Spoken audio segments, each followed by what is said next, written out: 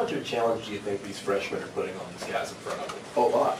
This freshman class now, I'm proud of the way they've competed and responded.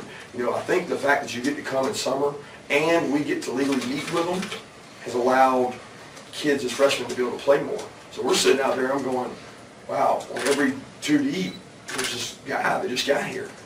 And he's surpassing guys that are sophomores and juniors quickly. So, I mean, I, I have been pleased with, with this group. Because I always argue that they're not as good as people rank them and they give them all these accolades. But this group has come in and competed, and they're gonna provide depth for us right away.